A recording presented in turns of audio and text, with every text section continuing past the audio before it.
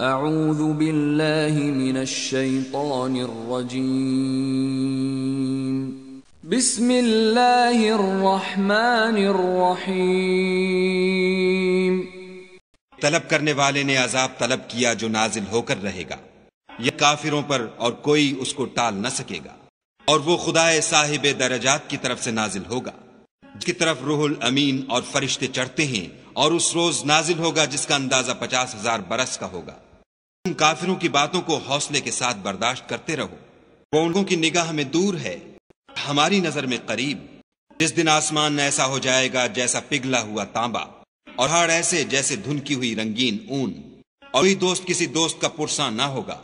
حالانکہ ایک دوسرے کو سامنے دیکھ رہے ہوں گے۔ اس روز گناہ گار خواہش کرے گا کہ کسی طرح اس دن کے عذاب کے بدلے میں سب کچھ دے دے یعنی اپنے بیٹے اور اپنی بیوی اور اپنے بھائی اور خاندان جس میں وہ رہتا تھا۔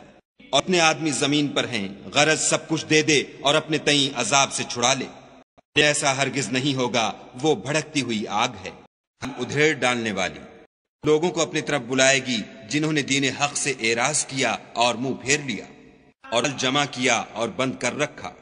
نہیں کہ انسان کم حوصلہ پیدا ہوا ہے۔ جب تکلیف پہنچتی ہے تو گھبرا اٹھتا ہے اور جسائش حاصل ہوتی ہے تو بخیل بن جاتا ہے۔ اگر نماز گزار تو نماز کا التظام رکھتے اور بلا ناغا پڑھتے ہیں۔ اور ان کے مال میں حصہ مقرر ہے۔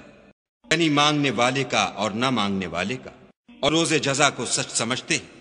جو اپنے پروردگار کے عذاب سے خوف رکھتے ہیں۔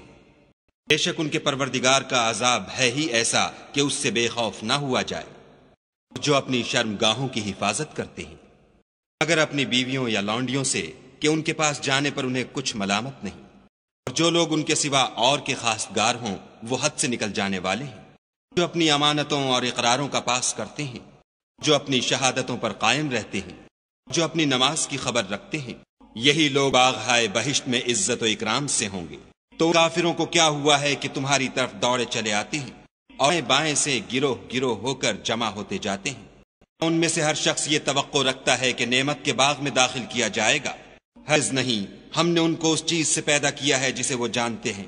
ہمیں مشرقوں اور مغربوں کے مالک کی قسم کے ہم طاقت رکھتے ہیں۔ یہ بات پر قادر ہیں کہ ان سے بہتر لوگ بدل لائیں اور ہم عاجز نہیں ہیں۔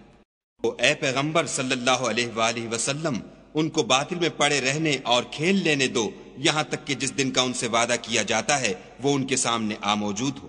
ان یہ قبروں سے نکل کر اس طرح دوڑیں گے جیسے شکاری شکار کے جال کی طرف دوڑتے ہیں۔ ان آنکھیں جھک رہی ہوں گی اور ذلت ان پر چھا رہی ہوگی۔ یہی وہ دن ہے جس کا ان سے وعدہ کیا جاتا تھا۔